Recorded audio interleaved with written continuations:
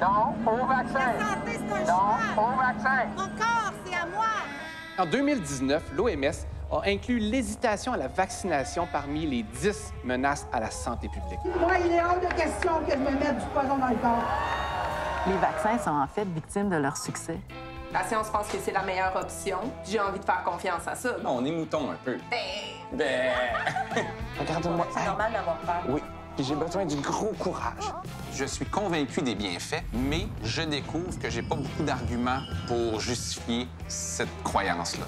Dans le fond, moi, je t'invite à faire tes propres recherches.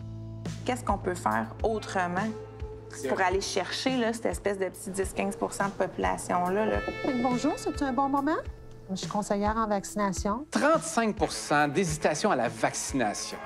On a décidé de vous faire peur et en créant la panique, on va amener tout le monde vers le vaccin. À l'aube de la plus grande campagne de vaccination de l'histoire, le pourcentage tend à augmenter. Tu sais, on parle beaucoup des pour de la vaccination, mais on parle pas des contre. Ça vient me challenger.